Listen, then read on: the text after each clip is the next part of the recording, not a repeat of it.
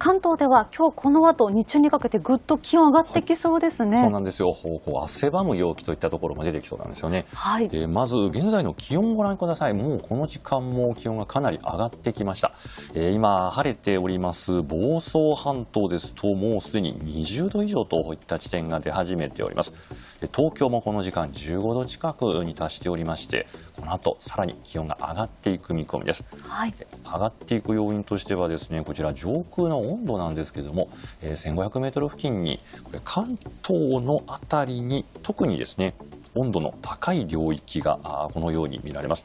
こういった形で、まあ、上空の温度が高くまた日中晴れるところが多くなるため、まあ、気温が上がる見込みでして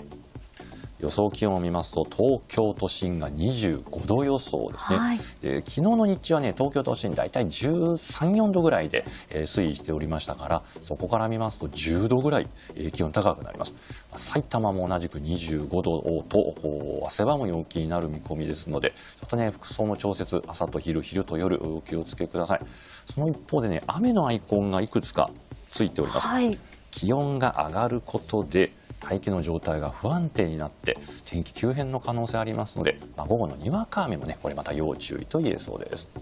わかりました。この先の気温、また天気についての最新情報はお天気アプリウェザーニュースからもご覧いただけます。